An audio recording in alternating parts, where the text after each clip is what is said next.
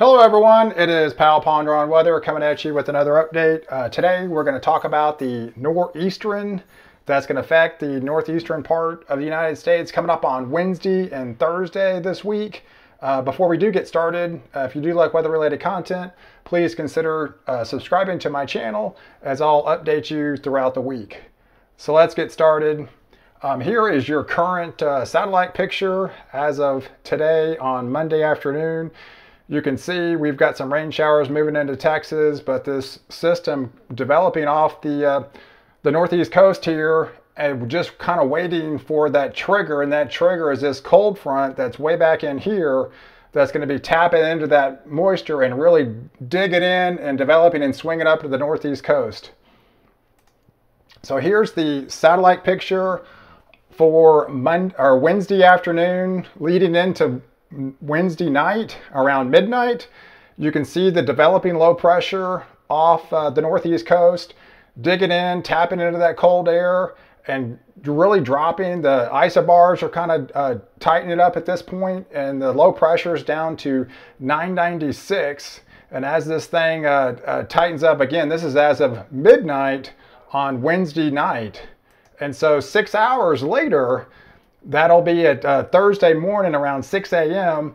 It drops another 10 millibars, and you can see the isobars uh, tightening up, and it's pumping in counterclockwise. And these winds are really picking up now uh, 20, 30, 40 miles an hour, and gust well above uh, tropical storm strength as this moves up the northeast coast. And if we take it out another frame, it actually drops another 10 millibar. So again, a 20 millibar drop and a 12 hour period as this thing really starts to crank out. And now we're talking winds uh, of hurricane force, uh, potentially, you know, like gust and really cranking up and, and moving into and pumping off that offshore flow, dumping heavy rain into, into Maine and parts of uh, Boston where I expect a couple of inches of rain and moving up the East Coast. And this will you know, like again, pump in tremendous amount of wind and offshore flow and uh, create a, a storm surge as it moves up the northeast coast. And if we take it out another frame, it even deepens out even further. And gosh, this even even classifies as a as a bombogenesis because it technically, if you drop 25 millibars in a 24-hour period, if this thing does verify, this will bottom out at, at 970 millibar, and that's like a Cat 2 hurricane as this uh, comes up on a subtropical feature as it comes in to Maine, pumping in, pumping in that air, uh, high, high winds into Maine, and even some snow flurries may fly. Uh, kind of a wet snow, 35, 38 degrees snow late into Thursday night up into the far northern parts of Maine. Here's another look at it. Uh, this is at Wednesday night at, at 10 o'clock, and you can see the low pressure. There's there's Boston, so it's showing the winds of in DC 25 to 30, and New York 20, 20 to 25. These are sustained winds, not gust. Nantucket 30 to 35, Boston 30 to 35. And as we take it out another frame at 1 o'clock on Thursday afternoon, you can see that low deepening even further where we've got some 40 to 50 mile per hour winds offshore in Atlantic City, uh, Nantucket, Boston's, you know, tropical storm force winds, and even into Portland, you're getting into the action. And, and you can see the rain amounts, kind of a, a widespread event of one to two inches, essentially from Atlantic City to New York to Hartford to Syracuse. This is over a, a two to three day event. So as far as like a wide spread, and there'll be pockets of even higher amounts, but overall about one to two inches in Burlington, Portland, Bangor, all the way to the Boston and Hartford.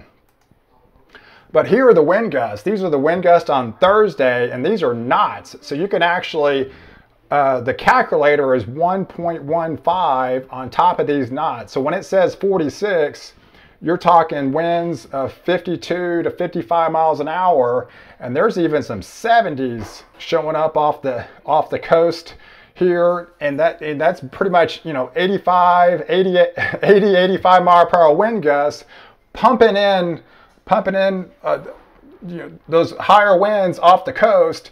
And so you should see some higher winds definitely in, in, the, in the Boston area into Connecticut, New Hampshire.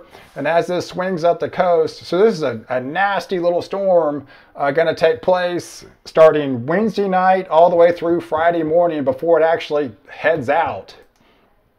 So here's the, uh, the overall precipitation uh, content in the atmosphere. And you can see this as this deepens on Thursday it'll it'll have you know one to two two inch rainfall estimates per hour, dumping heavy rain. I, I, expect again two to three inches on average in Boston. There are some actually places may get four to five as this really tightens up uh, Thursday afternoon.